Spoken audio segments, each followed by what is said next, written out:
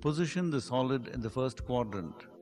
Look at the solid from the front to obtain the front view as shown in the figure. Look at the solid from the top to obtain the top view as shown in the figure.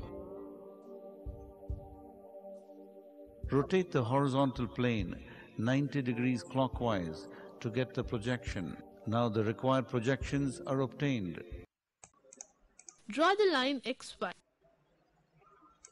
Draw the projection of the prism when it is placed in simple position, that is, axis perpendicular to the HP and parallel to the VP and name its corners.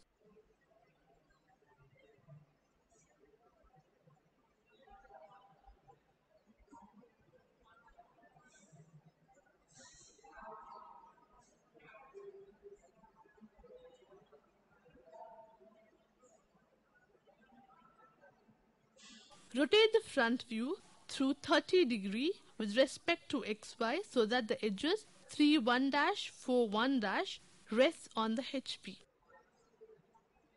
Draw projectors from the rotated front view and the initial top view and name the points of intersection.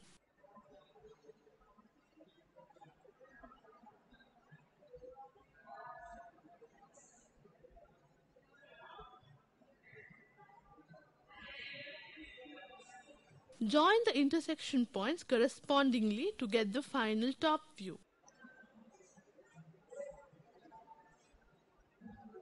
Draw the visible edges by thick continuous lines and invisible edges by thick dotted lines.